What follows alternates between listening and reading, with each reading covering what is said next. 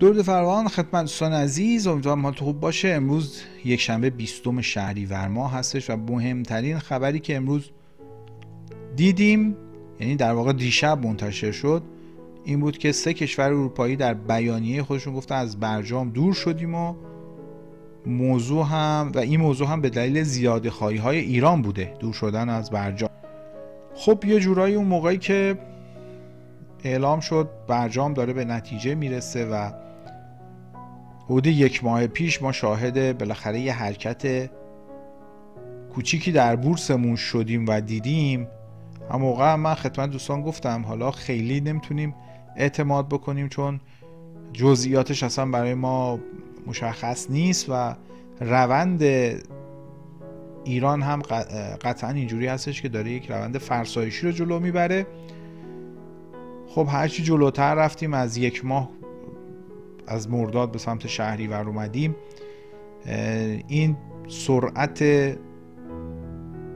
رشد شاخص هموز کم شد. یه جورایی مردم هم کم کم اعتمادشون رو نسبت به احیای برجام از دست دادند و الان هم که دیگه یه باره به صلاح تیر آخر بهش شلیک شده جورایی الان دور شدیم از برجام و مجددا یک کندل قرمز دیگه برای شاخص کل هموز و شاخص کل به جامون خب شاخص کل هموز خیلی وضعیت بدتری رو نسبت به شاخص کل داره با خاطر اینکه فاصله زیادی در اصلاحش دیده میشه و احتمال داره که به سطح قبلی خودش در مرداد برسه و یا حتی پایین تر بیاد. شاخص کل هم حمایت خیلی قوی سرایش دیده نمیشه. یه حمایت کوچیک اینجا روی یک میلیون و 340 داریم و خب حمایت قوی تر روی یک میلیون و 286 هزار هستش که خب امیدوارم کار به اونجا نکشه. ولی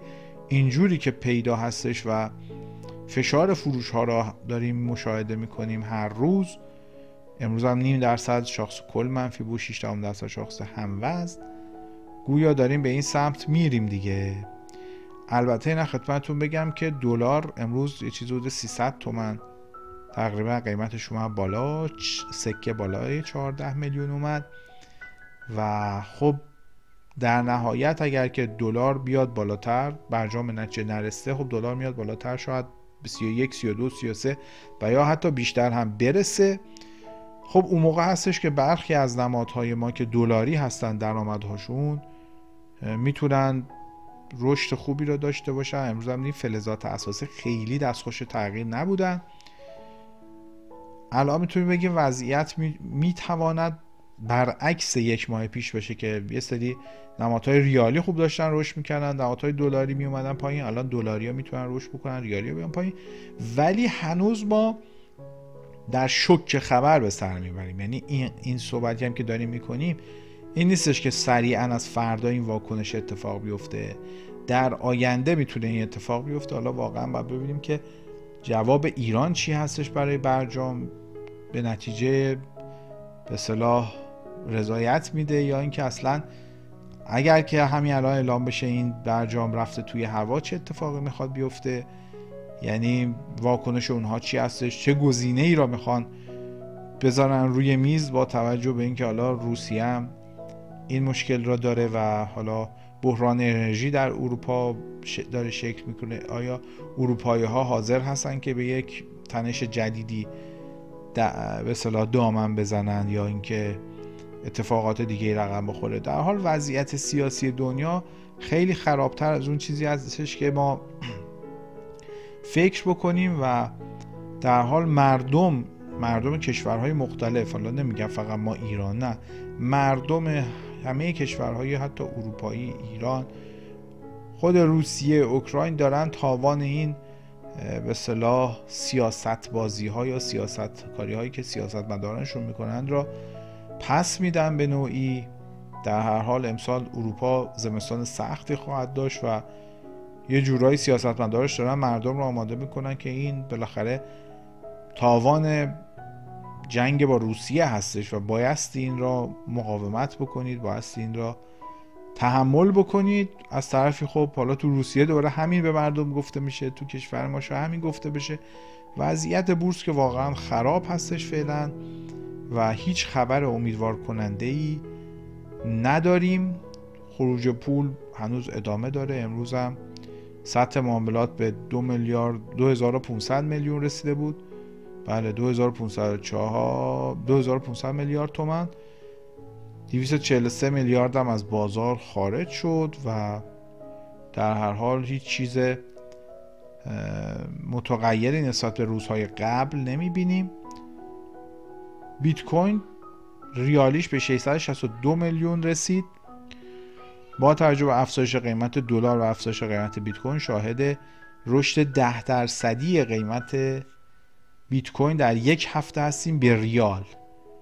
یعنی اگه کسی هفته گذشته هم سهامش همه فروخته و بیت کوین خریده بود که در قیمت 19 هزار قرار گرفته بود بیت کوین الان 10 درصد سود کرده بود که خب نمی‌دونم حالا تو همین برنامه ها راجع بیت کوین صحبت کردیم گفتیم 19 هزار پله اول ورود هستش.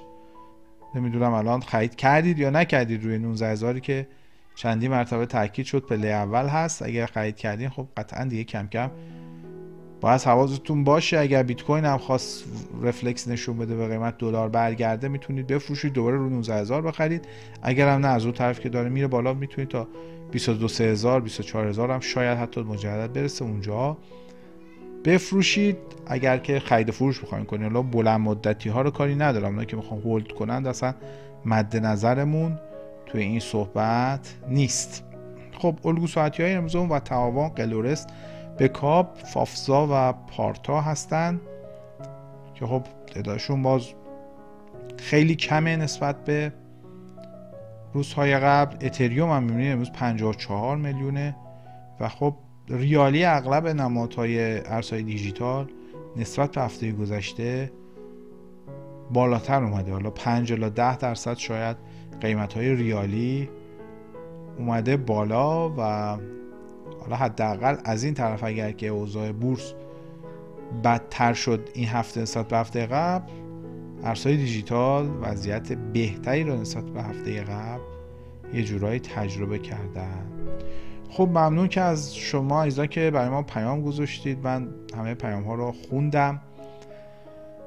خب اغلب دوستان اعتقاد دارن که دستکاری روی شاخص داره انجام می‌گیره و ارزش پورتفوهاشون کمتر از زمانی هستش که شاخص در یک میلیون دیویس هزار قرار گرفته بوده.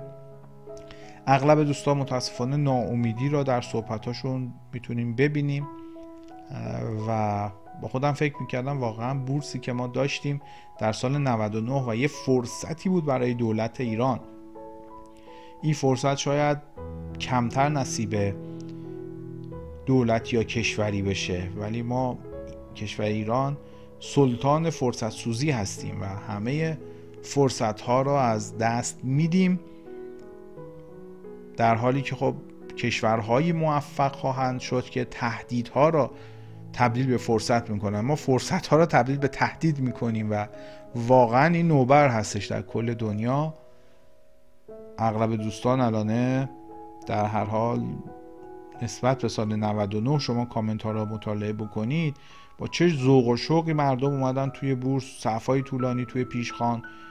با وجود اینکه کرونا بود محدودیت بود ولی مردم علاقمند بودن بیان توی بورس. الان به نگاه بکنید که همون افراد با چه مشکلاتی مواجه شدن و در هر حال این سیاست هایی که دولت, دولت قبلی و دولت فعلی در پیش گرفتن خیلی موثر نبوده که هیچ باعث شده که کار به اینجا هم برسه.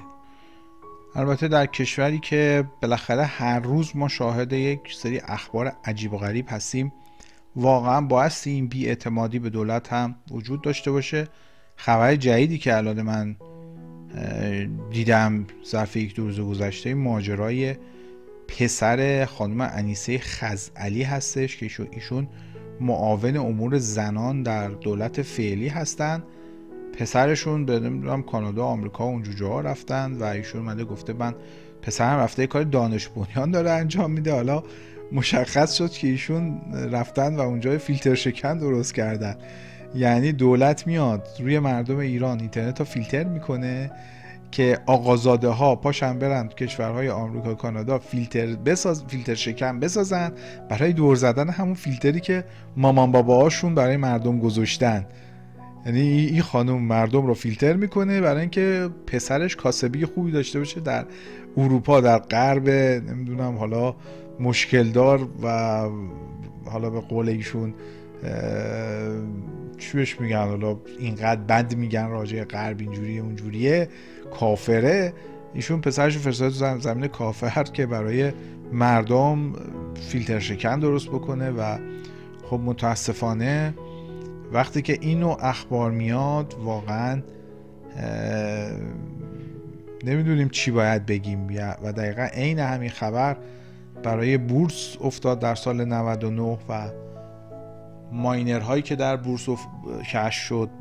خیلی دوستان اشاره کردن توی این کامنت ها در حال دردراشون گفتن چون تعدادش زیاده حالا من نمی‌رسم همه رو بخونم ولی خب چند تایی مثلا آقای حمید آقای حمید بابایی میگن که در مورد وسالت چند روزی صفحه خرید بوده بعد میان میبندندش. چجوری وقتی یه سهمی چند روز صفحه خرید میشه سری میبندن اما چند روز صفحه فروش میشه اون را نمیبندن. بقیه دوستان هم در حال مورد دستکاری در شاخص مورد با...